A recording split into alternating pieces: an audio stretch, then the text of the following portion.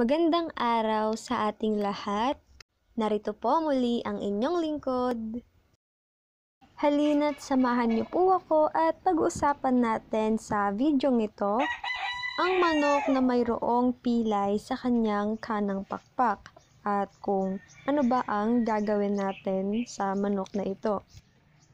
Pero bago yon, shoutout nga po pala sa ating mga viewers, sa mga nagla-like at share ng ating mga videos, at lalong-lalo na sa ating mga subscribers. Maraming salamat po. So, ayan po, kung makikita po natin, ganito ang aming ginagawa sa aming manok na mayroong pilay sa kanyang pakpak.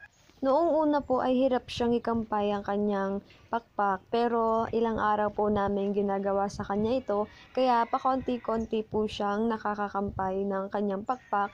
Um, tuwing umaga po kaming ganito sa manok na ito.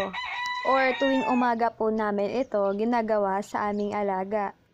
Tapos samahan po ng masahe pakonti-konti at pinapainom din po namin ng B-complex na gamot para sa mga ugat niya. At ayan po makikita natin mataas po ang uh, kanang pakpak niya at kahit naman po hindi natin siya maibalik sa dating kampay or kahit di naman po natin maibalik sa dating kampay ang kanyang kanang pakpak, uh, basta ang mahalaga po ay kahit papaano ay nagagalaw niya na po ito. At syempre atin po siyang naalagaan. So hanggang dito na lamang po muna sa ngayon. Maraming salamat po sa panonood. Maraming salamat sa ating mga viewers, sa mga nagla-like at share ng ating mga videos at lalong-lalo na sa ating mga subscribers. Shoutout po sa inyong lahat. Maraming salamat at God bless.